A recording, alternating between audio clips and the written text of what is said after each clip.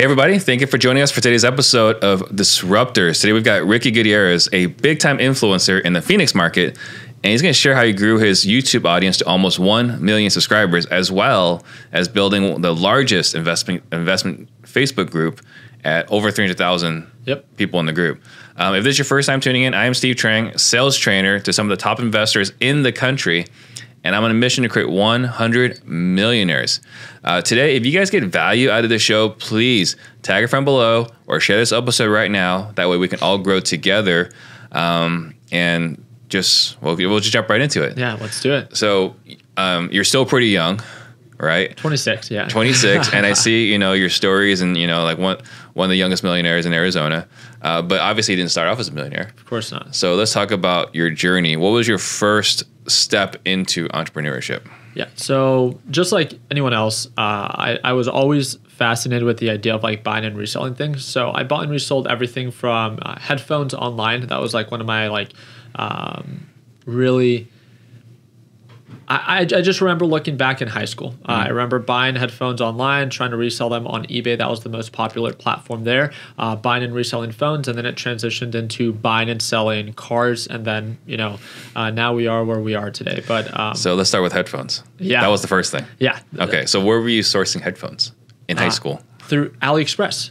So Okay. uh, on eBay, I was actually my cousin and I became like eBay super sellers. So even back then, uh, I you were a super seller in high school correct. But uh, so let me explain it. Um, I don't know how eBay works now. uh-huh I know Amazon's like top notch, right? Right. Uh, but back then it was eBay, and one of the things that we we got to the point of where when you open a new eBay account back then, you would have to wait like 21 days before they would disperse your payment uh, after you sell something.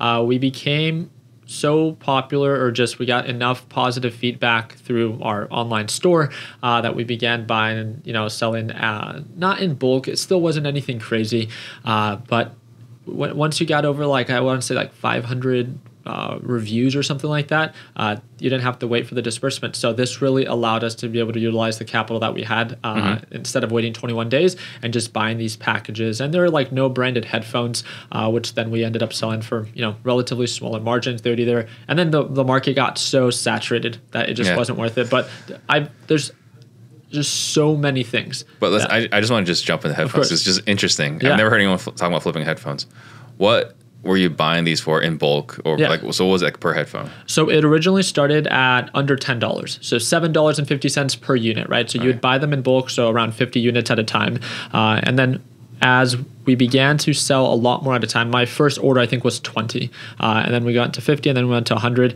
But then the headphones began because the market became so saturated. The headphones became the quality was worse as time went on, which you wouldn't really think, but it's because so many other manufacturers began to try to jump on the trend, uh, and the prices went up as well. So the prices for the headphones we then had to pay twenty seven, you know, thirty five dollars per headphone, which we used to pay less than ten dollars. But it was a very fun phase where but you're you're so you're buying them for 750 Yep. approximately what were you selling them for over a hundred dollars originally on ebay on eBay. Correct. wow Yeah. Okay, so you're in high school. Yep. I mean, this is pretty good money. I mean, how much were you making a month? doing it with my cousin. So my cousin uh, was one year older than me, and he worked at an electronics store. Uh, so they had the, the same idea where they would buy no branded headphones and then sell it. Um, you know, in the store.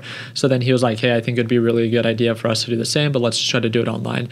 Uh, so after the rev splits, we were making uh, even think net was around three thousand dollars after expenses, and that's not each. So we would split it uh, down down the line, and it lasted about I want to say like eight to nine months before it became so saturated. So we're in the very I was in the phase when I was buying and reselling uh, the Ubid phase. I don't know if you've ever heard Yeah, of that website. Yeah. yeah, it was super popular back then, and as that website was up and coming, those were the websites that we were always you know, as AliExpress became a little bit more expensive, we then tried to look for alternatives. We tried to transition to like televisions, but it Yeah. just was never the same after that. What were you doing with this money? Because that's a lot of money in high school. Saving everything. You were just saving it. Saving you weren't splurging it. No, um, in, in high school, by the time I graduated, uh, one of the things that I love to talk about is I personally came from a nine to five background. I worked uh, in telecommunication sales. So I worked for T Mobile. Uh, it provided me with a very stable income. I was making over 60K my first year. Um, and ever since that's up until my last job, which when I moved from California to Arizona, I began working for Verizon. This is while I was a full time student at ASU. And I just love the idea of stability. And if you work twice as hard, so if you have your side hustles, I was trading, I was trying to invest in real estate, um, it just encourages, I think, people that you don't have to try to like rush into trying to make the most money right now because you need to depend on that money. I had my stable income, so I was a full time worker. And then with that stable income, it allowed me, if I invested the time, to learn more about the market, to learn more about real estate. And as time went on and saving money, um, yeah, I bought my first house. I again, Arizona in 2015, the cost of living was a lot less in comparison to Yeah. uh, California. But I bought my first house for $172,000, and I still own that house today. You still live in that house. I do not. All right. Yeah. So uh, you go from flipping headphones to flipping phones. Correct. Uh, I was doing a number of different things. Again, just trying to be proactive. I um, one of the things I've talked about before is I had a little like tech deck company. Uh, they're like little fingerboards. Again, I was into skateboarding back then, and a lot of skateboarders that were my age were like literally tech decks, but they're made out of wood, so they're made out of veneer. I started this little company. I you know started a YouTube channel even back then. I think I hit like three thousand subscribers, um, and you just make little like intricate little you know uh, veneer pieces like little skateboards and tech decks would sell for like $10 for the complete kit. Uh, this veneer boards a very popular site back then was called flat face fingerboards and those would sell for $50 a little piece of wood. Uh, i would sell mine for $12 sell mine for $20 um, and that was one of the hobbies that i had back then. I didn't start buying and selling cars until i was 18 my brother uh, who had a car dealership used car dealership at the time uh, was a huge role model for me and a huge influence and uh, when i turned 18 on my birthday I had a couple dollars saved, and he was like, "I want to help you flip your first car," and that is um, what led me to now we're one of the youngest people here in Arizona to own and operate a car dealership. Um, and Oh, you have a dealership. I've t- um, I'm the investor for two of them. So we have here uh, one in Mesa, Arizona. It's called Carson and More. 2 people that I met through Instagram, uh, and we opened up a second location in Arkansas, which is uh, Weston Moore. Uh, he's again uh, an individual that I met through just YouTube and Instagram, and. I, I just loved the hustle that they both had. They were obsessive about buying and selling cars, and uh, they were so just eager to open up this dealership and we opened it during the worst time it was uh, 2020 the start of the pandemic yeah Okay, so before we get into that, I Yeah. want to ask you. Um, you mentioned you went to ASU. yep Did you graduate? i did not Okay, so Yeah. how far did you get into it? so my uh, the end of my junior year so almost going into my senior year Okay, what was your major? Technological entrepreneurship and management i pretty much had to start a business Okay, yeah but you already started a business. Correct. Yeah. So- I was I was in class where uh, I've heard that some, one of the uh, at the Polytechnic campus, it's a much smaller campus. Um, one of the professors, his name is Professor Philly, and I heard he still talks and uses me as an example of an like I just remember going into class and sometimes I'd have to be a little late because I was working full time. I was you know uh, doing my channel full time. I had my group full time, and I had a girlfriend at the time. That's a full time job, uh, and then I uh, went to school full time. So Yeah. um, he really allowed me to work around my schedule, um, and he just always encouraged me to continue to pursue what it is that I'm doing, and um, it, it's it's really great to like when there's like so many things against you uh, in the idea of like um, how many things can go wrong. It's just so great to have that like positive reinforcement, like like this podcast. Sure. Having people that wanting to pursue real estate and having you as a true example of you know a positive reinforcement of what can potentially be that outcome. Yeah, awesome. So, all right. So you, what was the first thing? So you quit. Um, you were in college. You were you were running a YouTube channel full time. Yeah, So describe what that means full time for someone that doesn't. That's not a YouTube. Uh, that's not a YouTuber, right? What does it mean to have a YouTube channel full time? And your full time back then is different than your full time today. correct. Yeah, I so mean it was full time back then. it is it's does not seem fair for me to say full time because at the end of the day I upload one video a day. Uh, back then I used to upload two videos a day, so that was considered like an ext- like an extreme full time uh, YouTuber. But you have to understand like I don't film vlogs, I don't film entertaining content.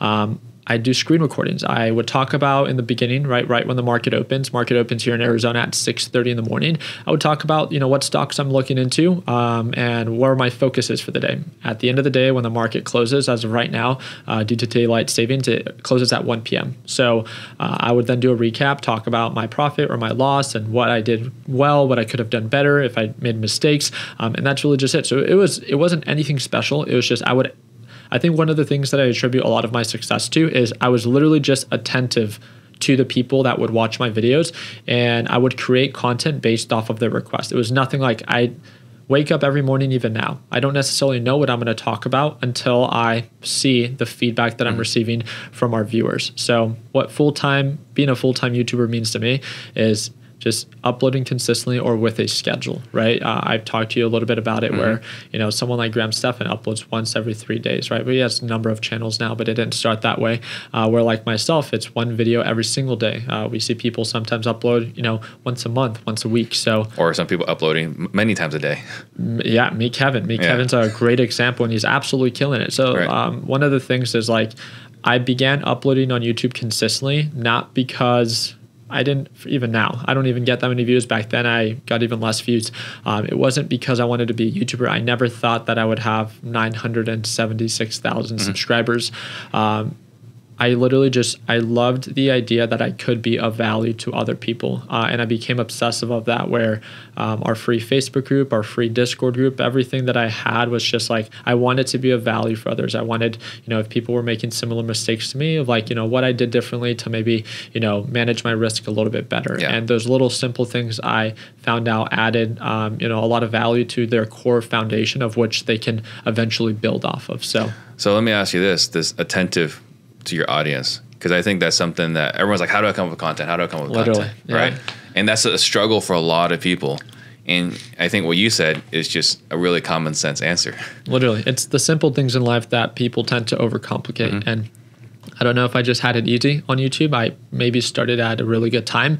Um, and obviously, the, all, all, those videos are not ones that do extremely, extremely well. Mm-hmm. Um, but they're a value and they're a value to but they're your core audience they're our core audience and at the end of the day that's the audience that i, I really want to attribute my videos to so how do you how are you attentive what what what actions or steps are you taking to uh, be attentive. I trade live every day. I'm one of the only people that trade live every day. I work with them every day. I you know respond to messages every day to this either private group. I have a free group as well free facebook free discord and to the best of my ability obviously we you know uh, miss a few just with the hundreds of messages we get a day. Uh, but i just try to be there every single day. Uh, i know that um, and again i miss videos from time to time mm-hmm. you know um, as in you know life gets in the way.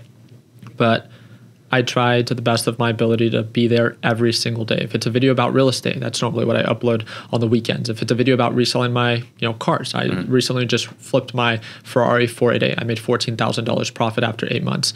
Um, anything in a way that I can talk about how I did, what I did, if it was good, if it was a mistake. Um, I just try to be there consistently because you know I'm, I'm never here to say that I'm the best. I'm never here to say that I make the most money, but I feel like I can outwork and outperform a lot of people tactically though, how do you like? Are you constantly reading the comments? Are you looking at the DMs? What What are you referencing? Comments I use more as like a reference, um, just because it's it's an abundance of of individuals. Mm-hmm. Um, it's it's more about the people that message me on Instagram, uh, more of the people that direct message me on Discord.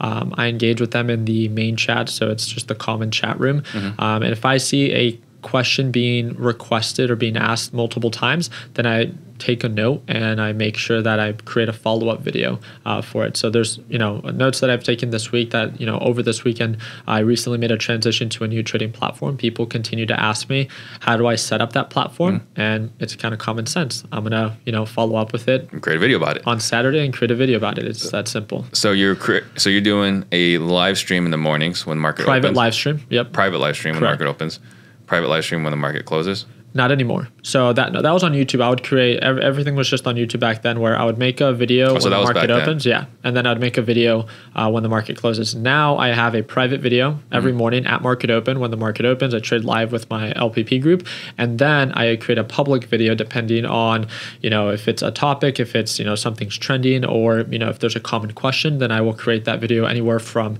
you know nine in the morning to one p.m. I'll upload just one video that day. Okay, so right now, how many videos are you, are you uploading a week? Seven. Oh, one video a day. One Yeah. video every One single- one public video a day. Okay. Yeah.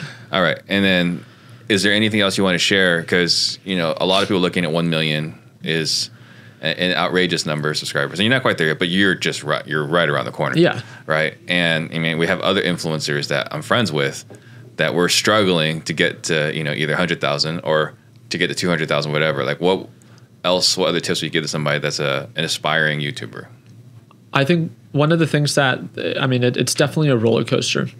We've had months where we grow at you know two to three thousand subscribers a day, right? We've had months where uh, we grow five to ten thousand subscribers a month, right? Um, there's the ups, there's there's the downs. I never started YouTube for the money. I never started it for the attention. I started it because I enjoyed what it is that it did, and it's a very simple task. It's it's kind of like uh, people love to ask like how is it that i still trade live every day? How is it that like i stay so committed? It's kind of just like i need to eat every day right? It's, it's not that I, I possibly want to or it's that i should it's that i, I do. It's part of my day-to-day task. it's that i don't consider myself to have a productive day if that's all i do within the day. Uh, and obviously there's days um, you know that th- there's not much. I have, I have a great team as of right now, and they uphold a lot of that work. Um, but one of the things that I like look back now versus you know when I first got started is um, I did everything back then, and now it really allows me to focus my time and attention in the areas that. Um, I'm now starting to try to grow. So my biggest recommendation for everyone that's just wanting to get started is the idea of do it for the right reason, as in like do it because you enjoy it. Because at the end of the day, uh, everything has its ups and its downs, and if the monetization is the sole reason on why you're starting something, you are more likely to fail when that instant gratification is not there. Gotcha.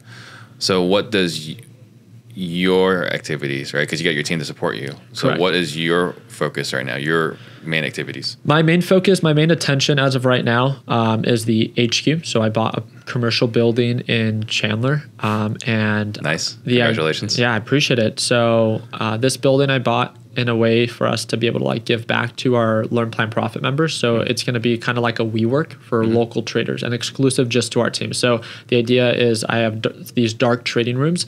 Uh, we set up monitors. We set up a dual monitor setup for every individual, and you just come on in, dock up your computer, and you can trade among other people. There's nothing else like it uh, other than you know you being able to trade in Wall Street. There's no common workspace, uh, and now all I want to focus on is being able to create environments that were not available when I first got started. So that's a big focus of mine. But again, That's I have awesome. a great team like Justin, uh, Michael, Jake, all, all the guys that are uh, part of our team. Um, all make it just a lot easier and a lot more enjoyable. Uh, being able to surround yourself, you know, uh, with that like positive work environment, kind of like that incubator effect. I know when I'm down, and I'm surrounding myself around a good group of guys, they uplift me, right? Yeah. And that's the same environment that we want to provide within our, you know, uh, HQ. Uh, anytime that you're up or that you're down, to be able to be that, like, create that incubator effect where we're there to uplift you during your lowest points. So that's a big focus. And then I'm just trying to get at your level, Steve, with the house flipping. Yeah, um, I'm, tr- I'm. We're learning more about flipping houses. Uh, Yeah. We started a new project uh, this week. Uh, one of my uh, direct partners is Nick Palladino. Mm-hmm. Um, so I'm sure I think you've probably heard of him. Absolutely. And uh, Colby, uh, which is one of your guys' agents. He's Mm-hmm. Uh, one of my partners for the Paradise Valley flip. Um, but we started a new project this week. That one was in Goodyear, Arizona. Um, I actually found that property through a follower. So um, Nice. I, I, I, I- it's it's so crazy that the world that we live in today that we can find deals like that. The second house that we close on, um, or the next house that we close on on Tuesday, uh, that was also through a mutual follower, and um, that one's in Chandler, Arizona. So that one's exciting. And then we check out a new property today for a potential flip. Also another individual on Instagram, and that one is also in Chandler, but this is like a, a, a condo. Yeah. So this was a little bit different. All right. So I think this is a, a very interesting topic. So um, before we talk about the, the your your followers sending you deals, I want to talk about the car the two car dealerships. Okay. Right. It's, I mean, we started the show to talk about the um, the power of influence, and influence has been around forever. Everyone knows the power of influence, but there's different influence today, which is social media influence. Correct. Uh, but it still has the same um, uh, effect. You can connect with people, and you can impact Yeah. uh, things in, in a different uh, way. So, talk to me about people reaching out to you about partnering up on a car dealership. So it started with I'm big on connections. and I'm big with working with people that it's like complementing partnerships. Uh, I've been so blessed to be in a position where almost every, uh, literally every single partnership I've ever established has worked out. Um, these two individuals, I first met Caleb. Uh, I met Caleb. I was actually at Top Golf here in Gilbert, and um, I was with our team. And Caleb comes up to me and he was like, "Hey man, I uh, subscribe to your YouTube channel. Uh, love your stuff. Uh, we'll we'll see you around." So he just recognized you at Top Golf. recognized me and then messaged me. This is when I had about 100,000 subscribers, and he invited me to golf.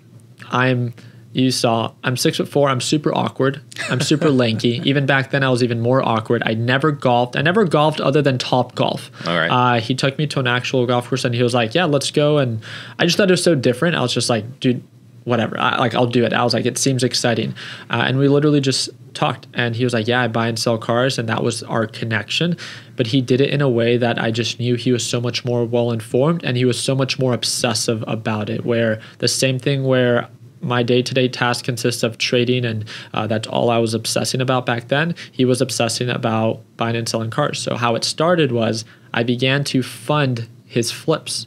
So i think i did it with like $10000 and he was just an absolute machine. Um, I met Weston through Instagram. He would tag me on Instagram and I would repost them. And this guy just seemed hilarious. He seemed like a good time. So I flew him out from Arkansas. Oh, nice. Most random place.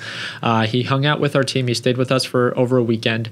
And he just resonated so well with our group. Uh, he just got along with everyone, and he was like, "I love this." He he came to visit one more time for his birthday, and after that second visit, I asked him if he wanted to move in. Uh, we just recently bought another house in Gilbert, and it came with a total of eight rooms, and I was like, "You can, you know, have one." Yeah. And he was going to school. He dropped out. Uh, in a week, he moved out to Arizona, and I would say one year after that, so I started funding his deals very similar to Caleb's.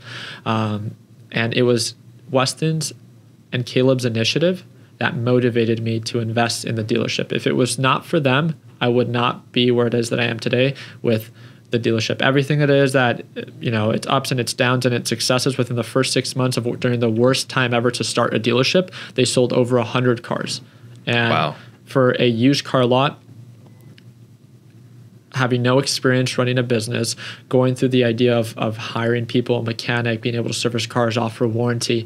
Um, they were working seven days a week. They were there every single day. And what I have to say is the thing that I found so attractive about this partnership is again, that I knew that they were so obsessive about this market of investing and flipping cars. Um, that I knew that the monetary reward didn't have to be there in the very beginning. And that's what I thought was most important. They enjoyed Yeah. the process so much. Well, you're investing in them, not the dealership. 100%. Yeah, and I think that's you know people look at me like Steve, how do you have so many businesses and like how, when you sleep? It's like really, I just have amazing people that I trust and empower. right? Exactly. And if I have people that I trust and empower and support them, then everything's gonna be fine. Yep. Right. But if I have to try to run a business with people that I don't trust, that I can't rely on, Correct. everything's gonna be a disaster. accountability, right? And and making sure that you uphold your responsibilities. So um, even today, I woke up with a message. It sounds kind of funny, but um, Weston just messaged me, and he was uh, he's not living with us right now because he moved back to Arkansas to run the Arkansas dealership. Um, and he messaged me today. He's like, "Hey, bud, hope you kill it today in the market." And it's just like little things like that. That it's just like it's just so crazy to like be so well connected with such amazing people that when Yeah. I saw that I was just like that's so dope. It's just like it's so cool to like just have such good people around you that you know he doesn't know if I'm having a good day, having a bad day, and it's just like it, it gives you that It's just extra a positive encouragement. touch. Yeah, it's just a positive touch to take on the day. Yeah. So So I'm gonna change directions just a little bit. Um, obviously, we had this thing recently with Wall Street bets. yep, I'm sure you have your own opinions on it. yeah. What are your thoughts on that whole situation? Yeah, I mean, I um, actually today uh, or yesterday, AMC, which is like their new main focus. AMC yesterday was the most traded stock yesterday in the stock market, which outbeat Tesla, and Tesla, like no one outbeats Tesla. Um, but it's it's something I've never seen before. Mm-hmm. I can see people are very invested in it. Um, I I have no issue with it if you approach it with a. I mean, at the end of the day, there's so many different ways on how to make money in the market. Um, is it risky? Of course, right? Yeah. There's no question about that. All we ever like to encourage people to do is that's not necessarily something that I personally partake in. I wouldn't hold one of those positions overnight, but I also wouldn't be someone that would reap the benefit of being up 200% in you know two weeks. So you Right. need to understand the, the position that you put yourself in. If you're someone that takes advantage of those kind of opportunities just understand that they come at a greater form of risk. Um, and all we ever like to encourage people to do is to approach it with a plan. Do it with a, a to- like a tolerable position size. Don't do it with with all your money that if it drops 10% that you end up wanting to never do this again. Yeah. it's do it with a dollar amount that you can tolerate uh, do it effectively with a plan and know when to get out. Uh, i think with a simple approach like again with the idea that there's so many different ways on how to make money in any market. Right now there all the all the altcoins and cryptocurrency i personally don't do any of those. But if you do your part in getting in getting out managing your risk watching your position size locking in profits you know all power all power to you. Um, i just think where a lot of people are being misled is uh, the idea of like the and maybe I just don't understand the the movement enough. Uh, but the diamond hands and, and discouraging people uh, and call them paper hands, those that decide to lock in profits. It's like at the end of the day, do your part to set your future self up for Yeah. success. If that's locking in profits because you, you you just don't see value in this anymore at the current price point, then so be it. No one should ever discourage you to persuade you to change your plan for their own benefit. Right. Don't be influenced. Do it for your, your reasons. Correct. Um, yeah, I heard about Wall Street bets like a year or two ago, and I just like I was in that subreddit for quite some time, and it's very fascinating. the way they speak to each other, and I've seen it. It's very fascinating, and the you know YOLO and HODL. it's Yeah. crazy.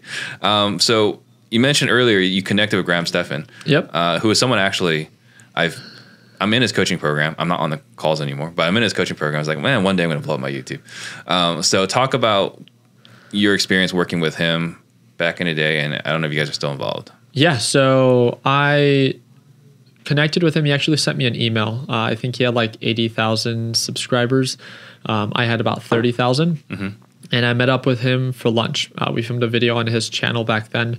And he was just, he was my first like YouTuber friend, um, to, to say the least. And he was just a great guy that, um,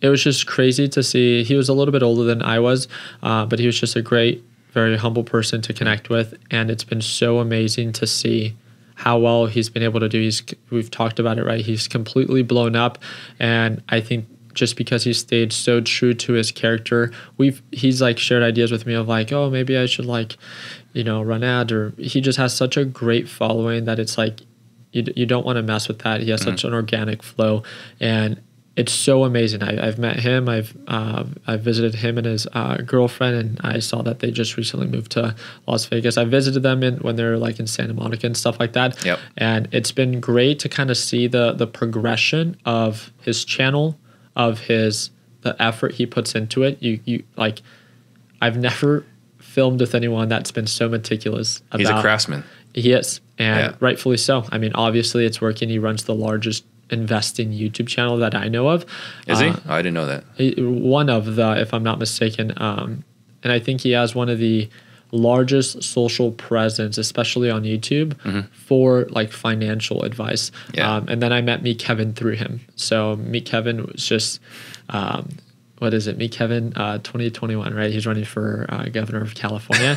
he's he's also a guy that I, I met through Graham and a great guy that I connected with. Uh, I actually partied with him in Omnia, believe it or not. It's it's funny. um, but just a great group of guys that are just again obsessive about what they do, um, how they do it, and just really wanting to be there and to be a value for their followers, and just being able to like be connected with those individuals. I think it puts into perspective for me that I yeah I think it's great I'm about to hit a million subscribers, but seeing how much they're growing, how much they're scaling, it just shows you that you're just getting started. Yeah, well, that's So- my biggest challenge because I, uh, I'm I'm right here looking at Ryan Pineda, who uh, you met with uh, a couple weeks ago. I'm, I'm I'm looking at him. I'm looking at Kong. I'm looking at uh, my other friends, Pace, Jamil, and like it's always this kind of just kind of measuring where you are. Yeah. As this, and um, uh, what are your thoughts like? Do you think there's a um, does it affect maybe not uh, happiness or whatever, but do you think like it kind of maybe puts um, what's the word I'm looking for? Um, A damper. Yeah, you know, like because like this idea of like trying to keep up with the Joneses. Like, do you think that happens at all? Or That used to happen to me uh, when I was first getting started. Um, it, it doesn't affect me like when I passed a million. Like it- it's it's not something that I remember when I passed the hundred thousand. That was very um, like it felt very fulfilling and stuff like that. When I passed a million, obviously I'm super grateful, uh, but the numbers don't necessarily. It's just the amount of people that have committed to subscribe to my channel. I know based off of my views and my engagement and stuff like that. I know over 10 million people, I'm sure, are aware of who it is that I am, right? Um, and, and it's never been so much about the um, validation from that anymore. Uh, and I just feel like because I've been in this territory for a while, that it's not something that will, you know, the only reason uh, we actually talked about it today. Today, I hosted a free live trading session, which we tend to do once a month, and uh, I took a position based off of my followers' request on YouTube. I gave them three options: DraftKings, Carvana, or AT and T. Three recent stocks that pulled on back. Uh, they said to invest into DraftKings. I put ten thousand dollars, and so far I've made twenty percent. So nearly, uh, or I think. I'm up like 2,300 on it, so 23% for my initial investment, and um, we were like, hey, once I hit a million, a million followers, I'll fly one of you guys out and you guys can stay with us and visit the HQ. And just, you know, the only reason that I'm looking forward to the million subscribers is to be able to do something to then, you know, Celebrate. celebrate, it. For me Yeah. to celebrate a million subscribers by myself or with the team, it's like we already, we just enjoy what we do so much every single day we talk about this all the time and i'm sure you can agree it's like when you take vacations now it's not so much because you need like a break from your work. Um, i find it so much within myself and within my team that when we come back from vacations we're just like dude finally like Get we got to go back to work. And Yeah. i think that's that should be everyone's biggest focus is do something or partake in something uh, as a profession or as a career that you don't need a vacation from. That would be my biggest recommendation. It's like obviously you know the monetary reward is great and it's amazing but it definitely does not trump the fulfillment you gain from enjoying what it is that you do Right. Well, and I think it's easy for us to say, right? For you, It for is, me, right? yeah. Because what we do makes a good amount of money. correct Um, but you know, like, what if someone like really loves like, um, I don't know, walking dogs, or I dated a girl that uh, wanted to be a teacher for kids with special needs, and she didn't care about money. Um, she didn't care about anything like that. Um, and it was something that uh, it was actually my first girlfriend, and uh, it was something that I found so wholesome and, and found so beautiful about a person that like, and I've I've experienced this before in my um, high school uh, journey where uh, there was a teacher, uh, Miss Miss Fury, um, and she was just always she was like the light of my day because of how much compassion and joy she had every single day. Yeah. and you just knew that she loved what it is that she did. so not necessarily start a business that you do what you love, but a career. And, Where you do and yeah, any profession that you find you would experience fulfillment on. Yeah, I I um I'm big on that. I obviously again it's very easy for us to say because Mm-hmm. of the, the monetary reward that we gain from what it is that we do, but I think one of the most amazing things to see is from an individual is I get so pumped when I see someone enjoy what it is that they do. I don't care if it's at a fast food restaurant. I don't care if it's at a you know uh, grocery store. If you just when you just meet that person that's like the light and you're like at a grocery store you're checking out and you just see that they're just like like oh man like su- Yeah. super They're pumped up super nice. yeah They it- care about you. Smile. 100% and it's, and it's just like it brightens up your day and you're Yeah. like i value that person and i know that that person values their life and it's just so amazing to see so Yeah. Yeah. Uh, and I have a. No, see. Before we transition to this, um, what would you say to someone right now that's like, all right, I want to be like Ricky. I want to be a YouTuber, right? yeah But they're they've got some sort of mental block. You know, like no one wants to watch me. Some people are, you know, are introverted, which yeah get, you know, I, I am. I get the feeling that you are. Um, what do you tell someone like that's putting limiting beliefs on how to get started or on, on how to start a YouTube channel? Again, I think the core foundation of enjoying what it is that you do and then putting your own twist to it. If you look back and you see anyone that's done well in any mark in any market, any business, or even any YouTuber, um, they didn't. They might have done it by copying um, some you know uh, qualities and they cherry picked from other YouTubers. But at the end of the day, every successful YouTuber to some degree uh, has their own twist on how they do things. Um, and I think character has a lot to do with people's success in any platform. Uh, Ryan Pineda, right? Uh, Graham Stephan, Meet Kevin. Uh, even myself, I think one of the things that I attribute a lot of my success to is my character when I was first getting started. Um, is I was 21 years old. I was 21 years old. I was one of the youngest people doing anything on YouTube in the in the in the uh, trading like world, um, and I think that was my edge. That was my character. I was you know uh, peppy. I was I think easy to relate to, and that was my characteristic that I think a lot of people attach to. Uh, now you see, like, not everyone has to agree with you, but if you can be of value or of entertainment for other individuals and you do it with your own twist, it's so many people are just so obsessive of copying every step of the way. And I think you can speak from this, like, even in, in real estate, to be uber successful or to even maybe potentially one day surpass you is I'm not going to get there by copying you, Steve, mm-hmm. right? I'm going to get there by I'm sure I can cherry pick the series of qualities that I find very attractive about how you flip houses. Mm-hmm. But at the end of the day, I have to put my own twist to it to be able to get to a point to eventually surpass you. And Right. that's what I've understood that in any business is it's great to cherry pick a series of principles in which you can build a foundation on, but don't stop there and don't be afraid to do it in your own way. That can ultimately lead to your success. Yeah. And I want to add a follow up question to this because I think a lot of people will like, how do I start? It's it's gonna suck, well, whatever. So let me ask you this humbly. How were your first ten YouTube episodes? Like videos? Yeah. Oh man. Would you define them as world class? No, the only reason that they have any views now are because I have nearly a million follow uh, subscribers and they've Yeah. gone back. Um, again, I uploaded because I, up- I I used to make car edits. Let me let's talk about that. So I uploaded my video about how I bought a first my first house at age 20. No one cared, right? I filmed it um, on Thanksgiving Day. I couldn't fly back home to have Thanksgiving with my family because I worked at Verizon. And the next day is Black Friday, which is a really big sales day, right? So I made this video with my laptop and then I sat in my dorm room and I was like, yo, I'm closing on December 22nd, 2015 on my first property. No one cared about that. Started making videos about, again, cars, buying and selling cars, looking for my next, uh, for my new daily driver.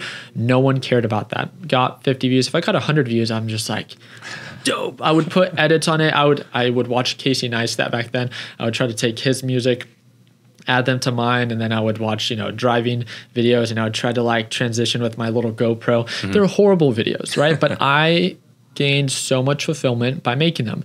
Uh, and then I uploaded a couple trading videos, and randomly I made like $113 off of a lower cap stock. I did a recap on it, and that video blew up. And I don't think that video um, was anywhere between my 10 videos. I think it was like uh, in the 50s. Because Yeah. again, I just, I was so obsessive about, not a, I just enjoyed it so much that I didn't need to do it for the views. Obviously, it added some form of validation and, and it only motivated me to do more. Right. Um, but I know that the reason I started it was because I genuinely just wanted to invest my time in doing things that I enjoyed to do. Yeah. So, uh, and the reason why I'm asking this question is just want everyone to understand like, you don't have to be great to start, Yeah, but if you start, eventually you will find greatness. 100%. And people love to surround themselves with others that express enjoyment through their work. And if you can um, create content and express that through your videos, um, I think it's only a matter of time, right? Yep. It's crazy to see the videos that blow up now. And there's so many different platforms and, and ways that you can do so. Yeah, there are. I again, Ryan Pineda is a, a great example of someone that blew up within a very short period of time during such an unfortunate time, but he took such unfortunate circumstances and made them. and super intentional with it. Yeah.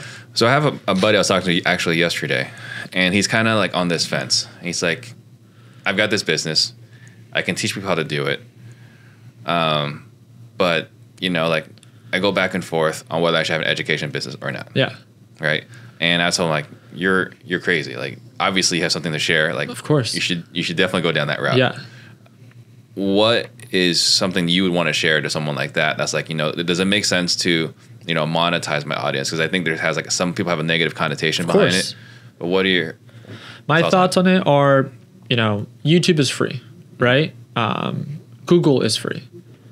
Your time should never be free. And one of the things is like people love to ask, like, why would you create a course when there's so many free content, right? Um, why would Steve, someone that does extremely well, want to just you know you create youtube videos and yeah sure because you want to right? Um, and it reaches an audience and you do it in a way that's tasteful. But when it's someone that is requesting your time and they want assistance from you why do you have to be entitled when you receive nothing back? It's all about uh, there being some form of complementing partnership. And if that complementing partnership is in that sense it's either like you create something that can be of value for other people and at the end of the day as long as you do it in a way that is actually of value you know you should never have to convince someone to see value in what it is that they in, in what you do. And that's something that we've always tried to stay true to where like you know i keep my things very simple. I trade live i do recaps on youtube. I talk about my green days my red days and if you see value in that great you can work with me. If you don't want to pay for it then guess what? I upload new videos every single day on youtube. You're more than welcome to check it out. Do you am i going to be of assistance for you or as attentive as i am to my private group? Of course not. How can you request someone's time and feel entitled that you deserve it when you've done nothing to receive it. Right. Um, and for this individual that's on the fence, it's you can either create something for the people that are already requesting your time, and or they're going to go somewhere else to find it. right? So I think that puts into perspective where it's it's very like easy to see that if you have and I was on the same fence. I had I think like nearly hundred thousand subscribers when I decided to uh, make my LPP course, and I just knew that I wanted to do something differently to be of value, and then that's why I began trading live. So everyone had a course, and you know you can learn off of YouTube, and you can. It's just going to be a little bit more difficult to learn everything along the way, right? And without mistakes being made. But I wanted to provide something that was different, and that would be my recommendation for anyone that wants to get into this field. Just make sure that you do something that is that really stands out, and I think that's something that really surprised a lot of people, um, as it provided more value than anyone else at the time. Yeah. Um, and then you've got one of the biggest Facebook groups. Correct. And anytime someone's got over 100,000, it's already an accomplishment. Um, I think uh, I get these, I hear these guys that own these large groups, they kind of brag to me like, hey, you know, like Facebook's looking at my group. I've got a point of contact and this and that, right? So it is definitely something that's an accomplishment. Yeah, You're at 300,000, yeah. way past where my other friends are at. How did you accomplish that? YouTube. Um, I created videos. I didn't do it in a way that now I understand marketing. Hmm. Back then, I was a kid going to school, working at Verizon, and people were requesting to for my time back then, hmm. and they wanted they're like you should create a Facebook group so we can ask you questions. And then from I was just like okay, I created a free Facebook group. It, it all everything that I did was based off of their request. I created so many videos that as I grew on YouTube, it, it organically flowed into my free Facebook group. And then people were like, we want to be able to, you know, people have Discord groups. We want to be able to direct message you directly. Discord is a more appropriate platform for that. Created a Discord, uh, free Discord for everyone else. And then now we have like over 100,000 on Discord. Um, and it it wasn't anything special. It wasn't anything that like I I planned or I prepared for. Is everything that I did was simply based off of our followers' requests that then allowed us now that we understand it a little bit more Yeah. on how that is so much of value to have these different. Um, you know, touch points for our audience where, Yeah. where I can, you know, blast out a message on Discord and tag everyone that is part of our Discord and I can reach 100,000 people.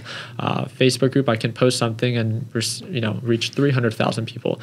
I can post on YouTube and depending on YouTube's algorithm, they will uh, showcase it to, you know, 20,000 views. So, yeah. So it was a natural byproduct to something you were already doing. Correct. It was an organic flow. It was never something that uh, like I didn't run ads to Yeah. my Facebook group or anything like that. Um, it just everything, and it's super boring. Uh, I know it- with my story, but everything just happened like organically and over time. And like I said, I mean, people still view me like you asked if I was 23. I know I look super young, uh, but I'm 26, and I started doing this uh, full time when I was 21 It was just because I thought I saw something when I was yeah looking you up.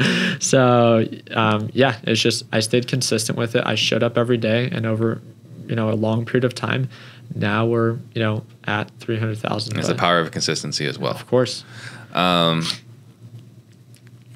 tangent here. Um, are you on? I mean, obviously you're on Instagram. Are you on TikTok as well? I am. I just started uploading. I actually, what I was working on when we were prepping for this is I uploaded a TikTok. I'm trying to upload one TikTok at least every day. Mm-hmm. So I'm trying to get on Ryan Pineda's level. I think we all are. Right. Uh, so let's talk about your strategy here. Then you know, obviously you already got a team behind you with your uh, YouTube. I imagine supporting your Facebook, supporting supporting your Discord. Uh, what what does your organization look like to help you continue to build this this brand? Yeah, so we have we have great structure when it comes down to our rules. Uh, when it comes down to content creation, I have a guy that's our full time filmer and editor, amazing. Um, when it comes down to like the messages and stuff like that, on depending on different platforms, I have people that uh, one individual that assists me with that, and I think as I continue to grow, um, we haven't reached the point where we you know need to hire someone else just if we're a little backed up on messages. I'm a little bit more attentive to it or we'll bring on the different people that maybe have less on their table than to, to assist with it. But um, altogether as we continue to grow our my biggest focus is just continuing to scale the businesses that we have as of right now um, and to still stay as well connected to our followers regardless of how big we grow. I think that's the biggest disconnect from a lot of people is it's great when someone's at 10000 followers on instagram because they're very accessible mm-hmm. but once they reach a million it's very difficult to get in contact with them. I attribute a majority of my success to the people that i've been able to connect with and the business relationships that i've been able to establish. So if i want to continue to do so especially with the with the trading hq my goal is to be a value for them but also any individual that i meet there that i see value in their ideas I want to make sure that I'm accessible enough that I can be exposed to it, where then I can make the decision to potentially invest in it. Gotcha. That's awesome. Um, and then I heard about you last year through another friend, Yeah. Templeton. Yep. Um, and so you also fund deals. Yeah, I used to fund a lot of deals back then. Yeah. So it's- used to something's changed.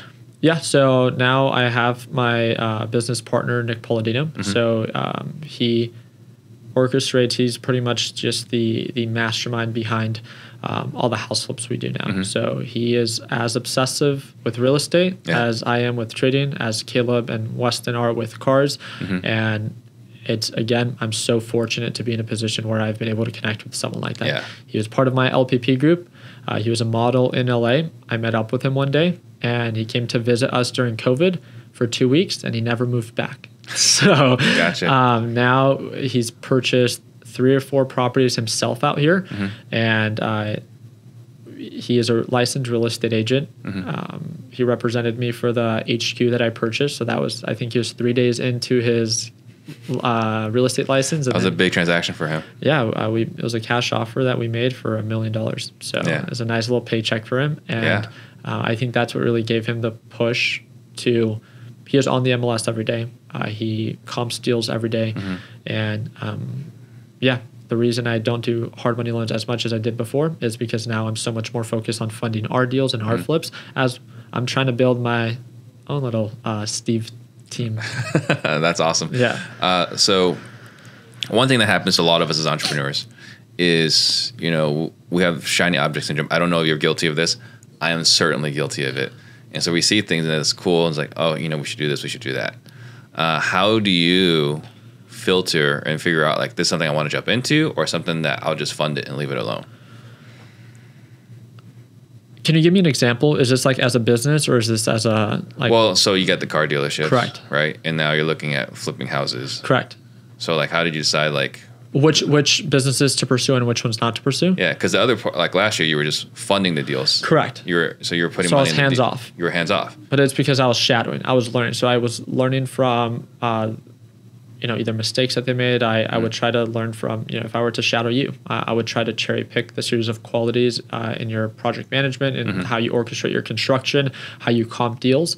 Um, and over a longer period of time, I built this little just understanding of it because I had no understanding. But I knew, let, let's be honest, like if I'm just someone with, you know, 200 subscribers or followers, and I message you, Steve, and I'm like, hey, man, I want to learn how to flip, you know, houses. It's just like everyone wants to. Like Yeah. everyone wants to be successful. Like that's not special. But if I approach the and I think this is where I see a big drawback is when people begin to do well, especially at a young age, they become entitled and they feel like they should never ask questions on how to do something because they feel like they're at a pedestal. For me, it's like I didn't care. I wanted. I, I found real estate attractive enough, attractive enough where I messaged Lenny Behe, which was a real estate uh, agent and flipper here in Arizona, and I was like, I don't only want to learn from you, but let me fund your deal so I can be of value for you. And that's where I began to shadow. And at the end of the day, if I, and I think this would be huge. Anyone that's watching this that wants to potentially get started in real estate, I think a biggest thing, the biggest thing, if they're not enrolling in your course, then what is it that they can do to be of value to shadow present you a deal, right? Uh, and if you see that, that would be direct value to you. Where like, I want to work with this person, Right. um, same thing with the two people that we just connected with in the past month. The flip that we closed on this week and the flip that we closed on last week. These individuals followed me on Instagram. They messaged me. They presented me with a deal. We purchased them, and I can promise you, like, I will always take them more serious than any other individual because they were simply of value. Well, they were more proactive. Exactly. Um, Yeah. And when it comes down to what businesses that I decide to partake in is are businesses that I s- see value in and that I want to pursue. Right now, also a big focus is our apparel. Um, I again, fortunately, was able to connect with someone like Jake who manages our apparel, and our apparel started at you know uh, it was like drop shipping. We would make like five hundred dollars every three months. It was just something that we had on the back burner for those Yeah. that wanted to you know buy a shirt. We just you know had it drop shipped. Uh, now we customize everything. Every we work with our manufacturers. We do everything from mouse pads, aluminum arts, uh, flags, hats, shorts, shirts. The shirt that I'm wearing today, it's just it's a little bit more fitted. And every single time that we have a new shipment, um, you know. Design or anything like that, we just try to get a little bit better every single time, and it went from five hundred dollars every two to three months. Um, now we're on track for you know 2021 to do multiple six figures. So Nice. yeah. So you got this kind of a Kaizen attitude where every day you just try to get a little bit better, a little bit better, a little bit hundred better. percent. It's like, yes, I think that's the best way to put it. Where um, it's hard. It's it's hard to make a lot of progress every single day Mm-hmm. within a very long period of time.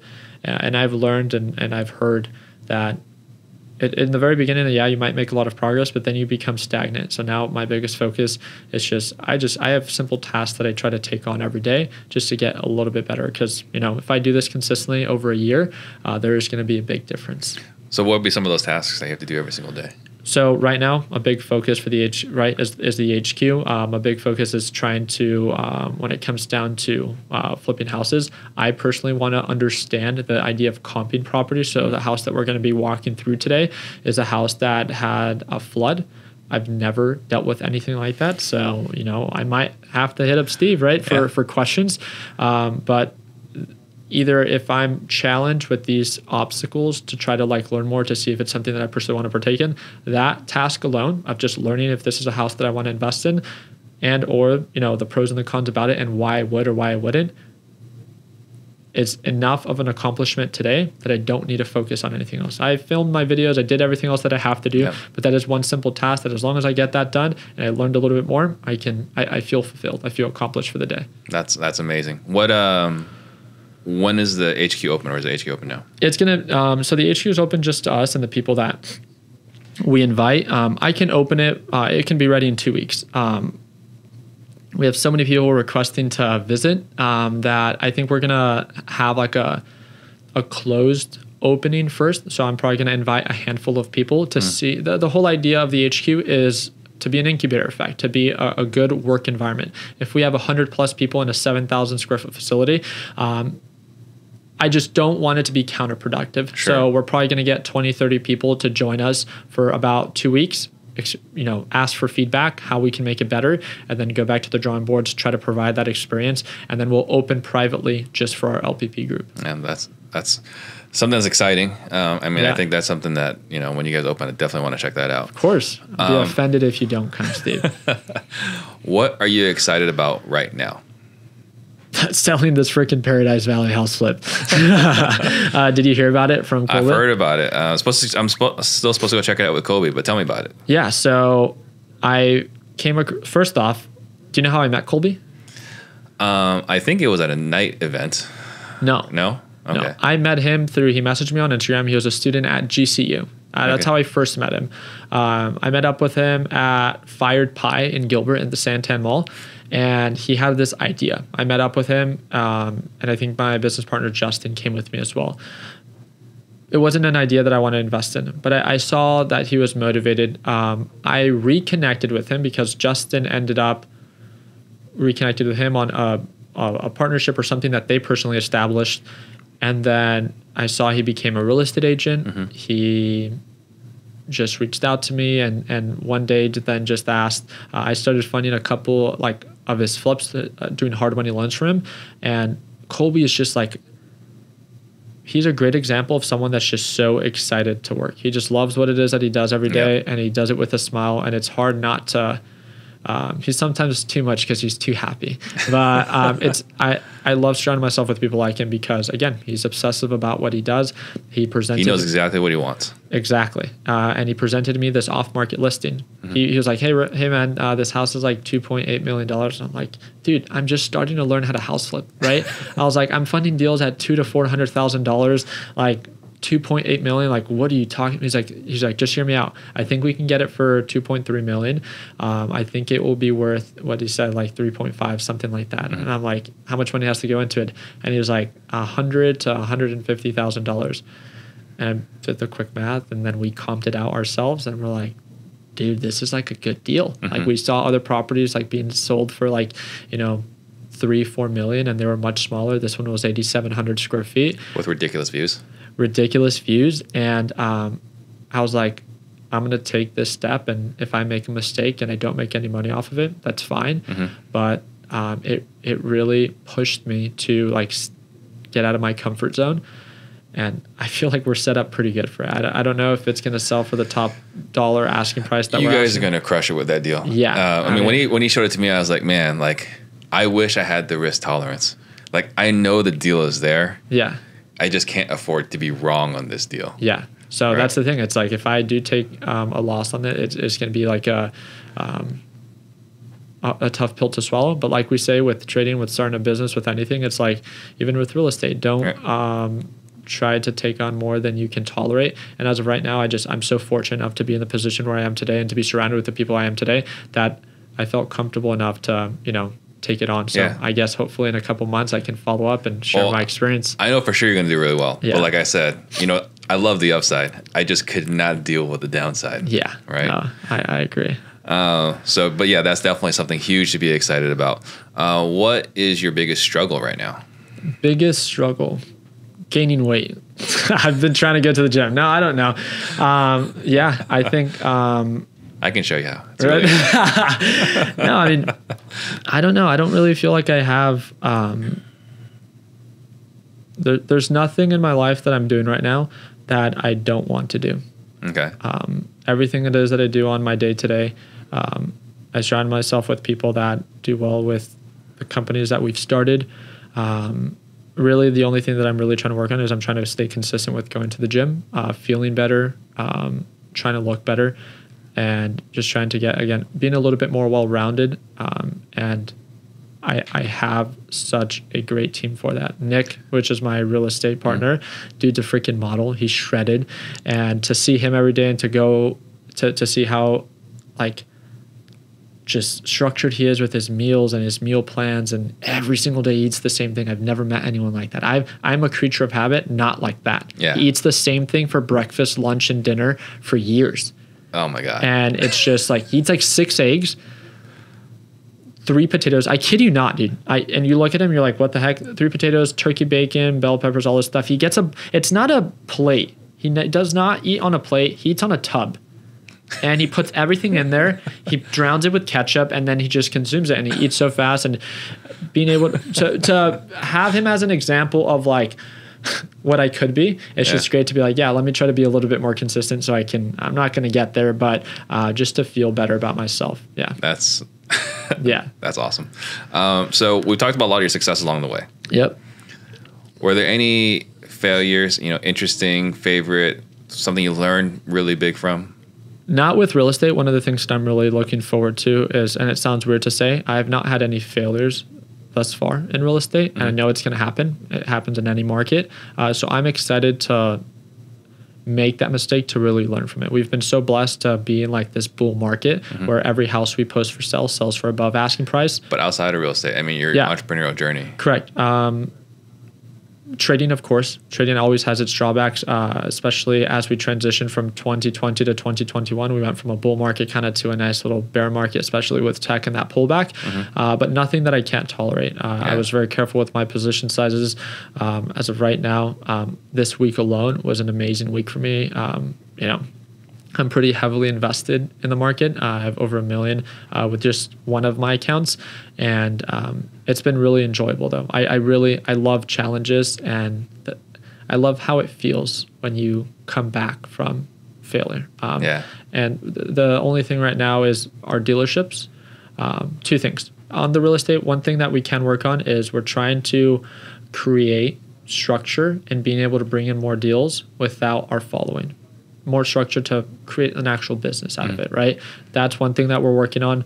Uh, the next thing is on the um, car dealership, how important it is um, to stay profitable consistently, uh, especially with the ups and the downs of just the pandemic and people wanting Yeah. to buy cars and how comfortable they are. We have a nice rush when there's a stimulus check, and then shortly after we sell like everyday cars. So, um, and then there's there's dry spells. But I grew up with my brother owning a used car dealership, so I'm very familiar with it. Uh, I just know I have the right partners for it. That anytime there is any uncertainty, uh, they put in the hours to you know get us through that rough patch. So Yeah. nothing on my table that I'm necessarily too worried about as of right now. Um, is there a book that you've gifted more than any other, read a whole bunch of times? No. There's yeah, I'm probably the worst person to ask uh, when it comes down to that. Everything it is that I've learned is from experiences, I uh, or from videos. Um, so I've yeah, there's not been one book that I've read about real estate. Is there a source you like to learn from? I Like an, uh, idol, mentor? Um, real estate, I have to say that I learned a lot from Lenny, right? Um, I was very motivated by the uh, mentality of Gary Vee, right? Um, and one of the things that I was obsessive about when I was first getting started is um, had nothing to do with trading, but I loved hearing like Elon Musk's story. I love hearing uh, Mark, Mark Zuckerberg's story, uh, Warren Buffett. Um, I would fall asleep every single night with my laptop in my dorm room, uh, watching uh, some form of interview of them sharing their story, their successes, their failures, their come ups, um, how they've scaled to their certain point. Uh, Jeff Bezos, all of those. I just, just it it it's great to be able to be someone that's doing well, but to know that there's that level to So that much success. more we could be doing. it's it really humbles you that like you're really still you know a drop in the ocean. So, So the biographies of really successful people. yeah, Have you watched the series The Men Who Built America? no, Got to watch that. Okay. You'll get fired up as I mean there are a lot of things they did were completely horrible, okay. but I mean these were the richest men right, Yeah. in history. What what uh, platform is it on? Uh, I think Amazon. Amazon. It's either Amazon or Netflix, but definitely it's not hard to find. But Okay. I, I mean, when I watch it, and like I was like fired up for like a month. I, and I love those. I absolutely love those. So I'll for sure watch it. All right. Um, so think about what what are some last thoughts you want to leave the listeners with? And I'm gonna make one just quick announcement. Guys, if you got value today, please like, subscribe, share this. It helps us reach more people. Uh, what are some last thoughts you want to leave the listeners with? Well, the people watching are most likely either people that obviously follow you or that follow me, right? As I after I repost this, and I think one of the biggest things is uh, if you want to do well in any market, make sure that you're of value to the people that you're trying to connect with. If you want them to act as a positive catalyst for your success, right? To be there and to be attentive, you need, there needs to be some form of you know not just give me everything and receive nothing, right? So I I'm excited for all the people that message you and that want to learn more about real estate investing to see how they approach it. It's not just I want to learn, everyone wants to learn. I want to Yeah. be successful, everyone wants to be successful. Um, what is it that you can do? That will be actually be of value, and how will they articulate that through that message? So, um, all the people watching that want to get started, whatever it is that I do, send a message, be effective, and I will, to the best of my ability, try to be of value for you to either help you, assist you, or guide you in the right direction. If I have people messaging me about wanting to get into real estate, I'm just like, well, I'm still learning. How about you message Steve and Yeah. you know connect with him? Um, that is my biggest focus. Is uh, we're we're so well connected now in the entrepreneurial space. Yeah, we are. Where I never try to say that trading is the only way or the best way. Not at all, right? To make mm. money. Uh, if I have people asking me about forex, should I do forex? Should I do crypto? Should I do stocks? You know, this is what I do. If you want to pursue the other markets, all power to you. These are the people that I would suggest, right? Yeah. And as long as you approach it with an open mind, you understand that there's risk to every opportunity in which you choose to take yeah, advantage are. of. But as long as you do it with the proper and right intention of enjoying what it is that you do, that you don't necessarily do it for the monetary aspect right away. Um, I do have to say, I do attribute a lot of my success to having that stability of that stable income because it allowed me to approach these different creative markets in a much more relaxed way, which provided me the luxury of time that allowed me to scale to the point of where it is that I am today. I pulled up working at Verizon Wireless as a 22 year old. Uh, I had a McLaren MP4 12C. This is before my course, before anything. Um, I had my YouTube channel. I traded and I was working full time at Verizon, actually part time at Verizon, and I was a full time student at a Corvette Z06 2015 that I bought and resold for $2,500 profit. And I bought a McLaren MP4 12C off of a student from ASU. And I did that with another YouTuber, and I sold that one for $15,000 profit. And I pulled up at my job part time, youngest person to be working there, and I didn't care about how much money I made when I worked at that job. All I cared about was utilizing every moment of my day to be productive. And if I can do, you know, it, I didn't replace my job or quit my job until I could do something better with my time. Yeah. And that's, I think, what I would love to express through this podcast is if you actually want to do well in any market, put in the time, put in the effort, and don't be afraid to you know be creative to stand out especially in today's very competitive like entrepreneurial very market. competitive very noisy market. Of course. Um, man i wish i wish i could see the people's faces when you pulled up in the mclaren um, so if someone wants to get a hold of you, send you a message, how do they do that? Just message me on Instagram. There's so many fake uh, Ricky Gutierrez Instagram accounts. I have one. I don't have. I don't trade Bitcoin. I don't trade crypto. I don't manage money for you. Nothing like that. I have one account. I have 187,000 followers on Instagram. You can message me there. And if you're not on Instagram, um, you can find me on YouTube. I have nearly one million. Uh, subscribers. And from there, you can connect to our free Facebook groups, our free Discord groups.